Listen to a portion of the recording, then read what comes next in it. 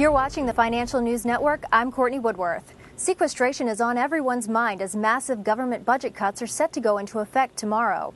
With a focus on cuts in defense and social programs, what about the housing market? Well, according to U.S. Secretary of Housing and Urban Development Shaun Donovan, sequestration could be, quote, deeply destructive to all aspects of the housing market.